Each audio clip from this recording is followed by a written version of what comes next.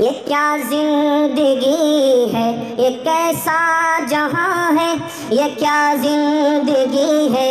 ये कैसा जहाँ है? जिधर देखिए जुल्म की दासता है। ये क्या ज़िंदगी है?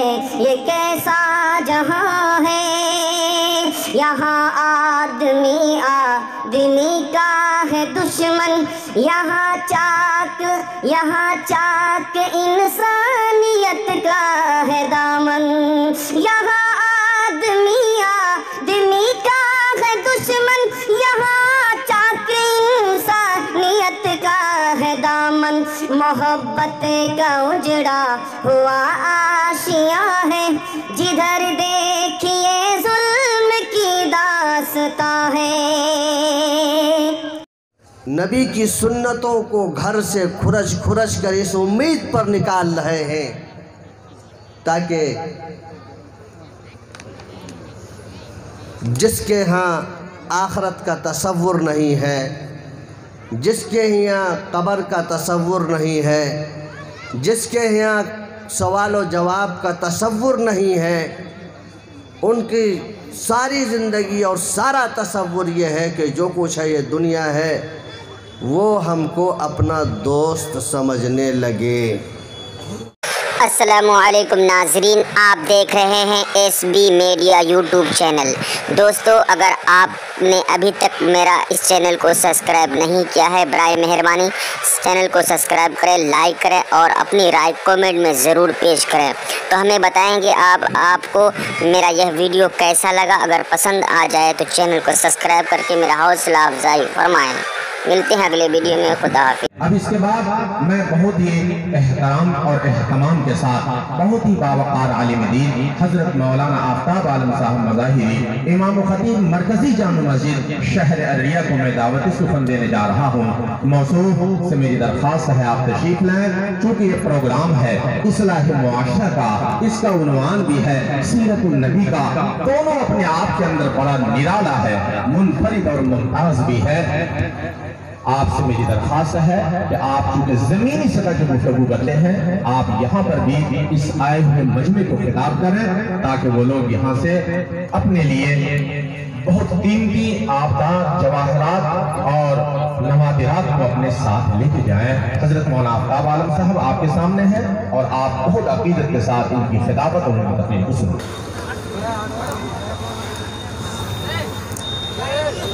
अल्हम्दुलिल्लाह।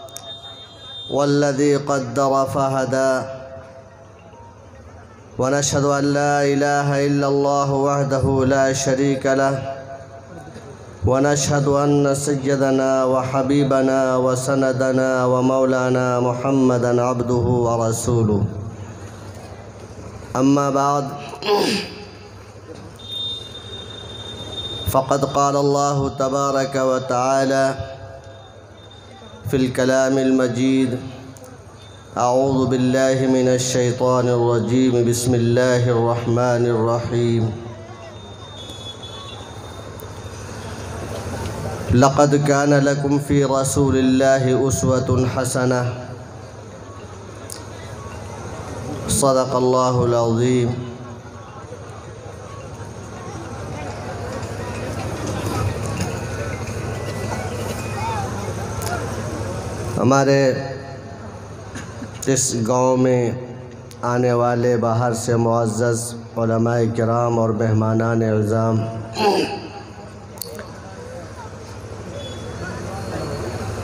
आपका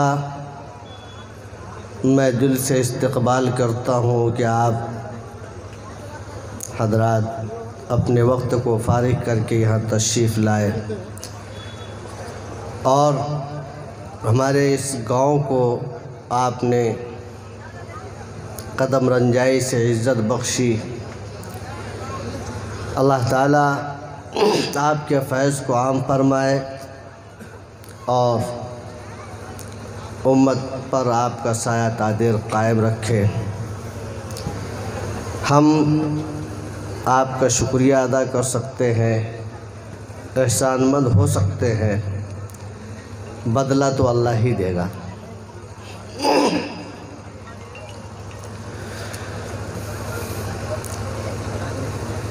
भाइयों, बुज़ुर्गों और दोस्तों, मैंने सूर्य अहज़ाब की एक आयत का टुकड़ा मैंने पढ़ा है। अल्लाह तबारक व ताली ने इसमें इरशाद फरमाया है कि अगर तुमको अपनी ज़िंदगी का कोई नमूना चाहिए, कोई आइडियल चाहिए तो वो आइडियल आकाए दो जहाँ सरकार मदीना ताजदार मदीना सल्लल्लाहु अलैहि वसल्लम की ज़ात मुबारक है। आज हम लोग दूसरों के नकल करते हैं। दूसरों की नकल के पीछे इतने भागे हैं भाग रहे हैं, भाग रहे हैं कि हम ये भूल गए कि मैं कौन हूँ। इसी को सागर ने कहा है कि शोहरत के फ़िज़ाओं में इतना न उड़ो सागर कि परवाज़ न खो जाए इन ऊँची उड़ानों में। हम अपने हेयर कटिंग बदलते हैं, अपने दाढ़ियों की कटिंग बदलते हैं, अपने कपड़ों की कटिंग बदलते हैं, अपने घरों की कटिंग बदलते हैं। पता नहीं किस किस चीज़ में हम लोगों की और दुनिया की नकल करने में मसरूफ़ हैं कि मुझे ये भी याद नहीं रहा कि मैं मुसलमान हूँ। मैं अल्लाह का नाम लेने वाला हूँ। मेरे घर में, मेरे जिस्म में कोई ऐसी भी शनाख्त हो कि मुझे देखकर लोग पहचान जाए कि यह मुसलमान है। मुझे देखकर लोग जान जाए कि यह मुसलमान है। ये ईमान वाला है। और हम इस उम्मीद पर। नबी की सुन्नतों को घर से खुरच खुरच कर इस उम्मीद पर निकाल रहे हैं, ताकि जिसके यहाँ आखरत का तसव्वुर नहीं है, जिसके यहाँ कब्र का तसव्वुर नहीं है, जिसके यहाँ सवाल व जवाब का तसव्वुर नहीं है उनकी सारी ज़िंदगी और सारा तसव्वुर ये है कि जो कुछ है, ये दुनिया है, वो हमको अपना दोस्त समझने लगे। सिर्फ़ सिर्फ़ इसलिए। वरना तो लोग आज इस महँगाई के ज़माने में अपनी इज्जतों को छुपाने के लिए पता नहीं किस किस तरीके से अपनी ज़िंदगी की ज़रूरतों को पूरी करते हैं और ये जताने की कोशिश करते हैं कि हम आपके नक्श कदम पर चलने वाले हैं। और अल्लाह तबारक व ताली का मुतालबा है कि अगर तुमको किसी के नक्श कदम पर चलना है, जिससे तुमको दुनिया और आखरत की राहत हासिल होगी दुनिया और आखरत का नतीजा तुम्हारे सामने उसके निचोड़ में मिलेगा, उस पर अमल करने के बदले में मिलेगा, और वो नकल है। हज़रत मोहम्मद सल्लल्लाहु अलैहि वसल्लम की ज़िंदगी। आपकी सुन्नत। एक मरतबा हज़रत मौलाना शाह अबराल हक साहब रहमतुल्लाह अलैह के पास कोई आदमी आया, किसी सुन्नत का तस्करा चला तो एक साहब ने कहा कि हज़रत, ये सुन्नत ही तो है।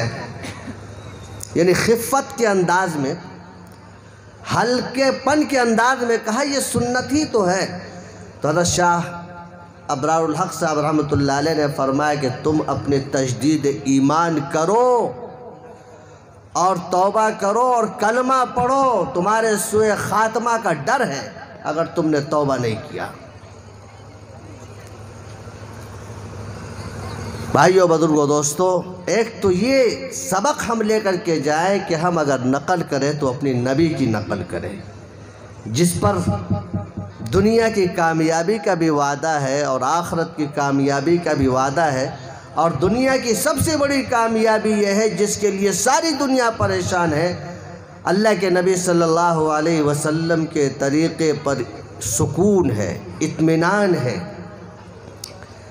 भाइयों, बुज़ुर्गों, दोस्तों, हम ये सबक लेकर के जाएँ और ये बाँध लें और ये समझ लें कि हमको अगर नकल करना है खाने में, पीने में, बाल में, लिबास में, उठने में, बैठने में, गुफ्तगु में तो हम नबी पाक सल्लल्लाहु अलैहि वसल्लम की नकल करें।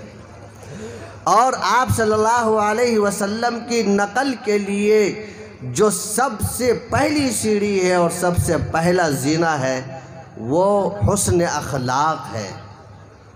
वो अच्छे अखलाक है। हमारी ज़बान अच्छी हो, हमारी बातचीत अच्छी हो, हमारा मिलना जुलना अच्छा हो, और हमारे क़ुलूब साफ़ हो, हमारा दिल साफ़ हो।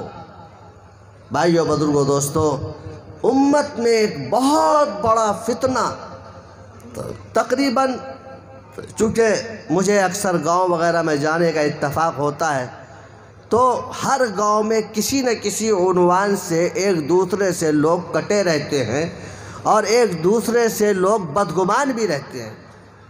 कहीं किसी नाम से, कहीं किसी नाम से वो फ़लाँ की बस्ती और वो फ़लाँ की बस्ती।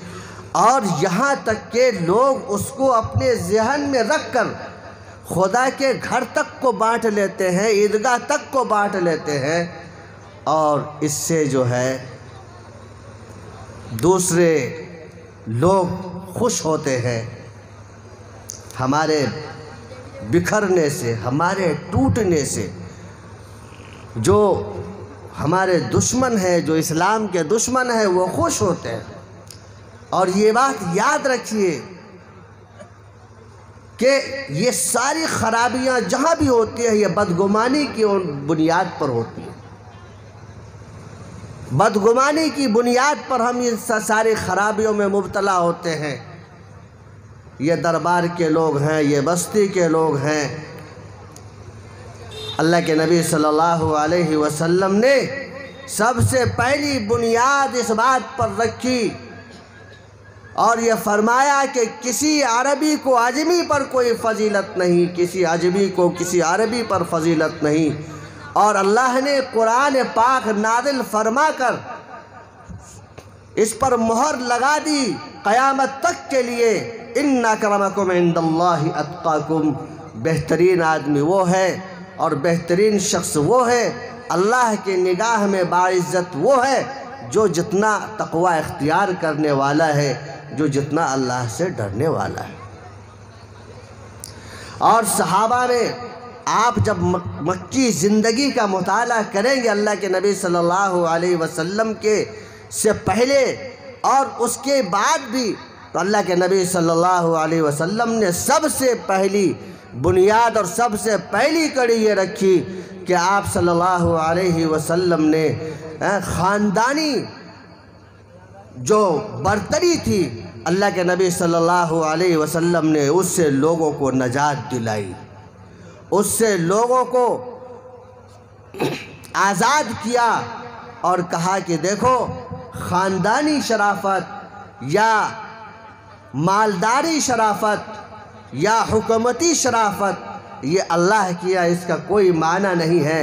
अल्लाह के यहाँ जो मतलूब है, जो मकसूद है, वो तकवा है। और चूँकि ये इस्लाम की बुनियाद जब से पड़ी, तब से मुसलमानों के अंदर मुख्तलिफ़ किस्म के इंतशार पैदा करने की कोशिश की गई। तो जब तक मुसलमान ईमान वाले बदगुमानी से बचे हुए थे और एक दूसरे का इकराम उनके दिलों में था तो बड़ी बड़ी ताकतें टकरा कर बिखर गई, लेकिन मुसलमानों को मुंतशिर नहीं कर सकी। आप सल्लल्लाहु अलैहि वसल्लम के ज़माने में फ़दाल अमाल में भी हज़रत शेख ने इस वाक़े को बड़ी तफसील से लिखा है कि गदवा तबूक के मौके पर तीन सहाबी बिला उद्र के शरीक नहीं हो सके और आप वसल्लम ने उससे बाईकाट किया उन तीनों सहाबी से जो पक्के सच्चे मुसलमान थे। उसमें एक हज़रत मालिक रज़ी अल्लाह अन्हु थे। तो वो अपने अहवाल को बड़ी तफसील से बयान करते तो उन्होंने कहा कि जब तीस दिन गुजर गए तो एक नसरानी बादशाह ने मेरे पास एक ख़त लिखा कि सुना है कि मोहम्मद सल्लल्लाहु अलैहि वसल्लम ने तुम्हारे ऊपर बड़ा जुल्म कर रखा है, तुमको बड़ा तंग कर रखा है। अगर तुम चाहो तो तुम मेरे पास आ जाओ और मैं तुमको अपने सलातीन में जगह दूँगा और इतनी इतनी जागीरें दूँगा और तुम यहाँ बहुत आराम और राहत की ज़िंदगी गुजारोगे और इज़्ज़त और शराफत की ज़िंदगी तुमको मिलेगी। ये ख़त जब जैसे ही आया तो हम लोग अगर होते तो हम लोग क्या करते? हम लोग अगर होते उस जगह पर तो हम लोग ये करते कि चलो अच्छा है रोज़ाना की किचकिच और झिकझिक और ऊंच नीच और बिला वजह मुझे एक, मैं इतनी लड़ाइयों में शरीक हुआ और एक लड़ाई में शरीक नहीं हुआ तो मुझे इतनी बड़ी सज़ा और मेरे ऊपर जो है बातचीत बंद, सलाम कलाम बंद और मेरी तरफ़ कोई तवज्जो ही नहीं। चलो उससे बढ़िया है कि वहाँ अपनी ऐश की ज़िंदगी गुजारेंगे। लेकिन चूँकि अल्लाह के नबी सल्लल्लाहु अलैहि वसल्लम की सोहबत ने और आप वसल्लम की मेहनत और आपकी सोहबत की बरकत ये थी कि उनको बजाय इस पर के गुस्सा आता बजाय इस पर के उस, उस कुछ सोचते तो ये सोचने लगे कि हमारी ईमानी कैफियत इतनी कमज़ोर हो गई कि आज गैर भी हमारे ऊपर जो है, लालच और तमा करने लगे और वो हमारे ईमान को बर्बाद करने की फ़िक्र में लगे हुए हैं और हमारे ईमान को ज़ाय करना चाहते हैं। जब अल्लाह तबारक व ताली से मोहब्बत और नबी पाक सल्लल्लाहु अलैहि वसल्लम से मोहब्बत होती है तो फिर आदमी हर जगह अपना कसूर निकालता है और फिर उसके बाद अपनी असलाह की फ़िक्र करता है। चुनानचे हज़रत मालिक रज़ी अल्लाह तु फरमाते हैं कि मुझे बड़ा अफसोस हुआ और बड़ी ज़िल्लत हुई मुझे कि कि आज मेरी हालत ऐसी हो गई कि गैर भी हमारे ऊपर तमा करने लगे और लालच करने लगे। चुनानचे मैंने उस ख़त को फाड़ कर तनूर आग जल रही थी, मैंने उस तनूर में उस ख़त को डाल दिया। ये वाक़ हमको ये सबक देता है कि अगर कोई हमारे पास किसी के ख़िलाफ़ शिकायत करता है तो उससे बदगुमान होने से पहले पहले हम अपने अक़ल का इस्तेमाल करें, अपने शूर का इस्तेमाल करें कि हम उस आदमी से बिला वजह क्यों मुतनफ़िर हों, बिला वजह क्यों बदगुमान हों, जिसकी मुझे कोई तहकीक नहीं। इसलिए अल्लाह के नबी सल्लल्लाहु अलैहि वसल्लम ने एक मौके पर फरमाया, सहाबा से ख़िताब करके देखो, मेरे पास तुम में से कोई किसी के बारे में कुछ न कहे और किसी की कोई शिकायत मेरे पास नहीं करे।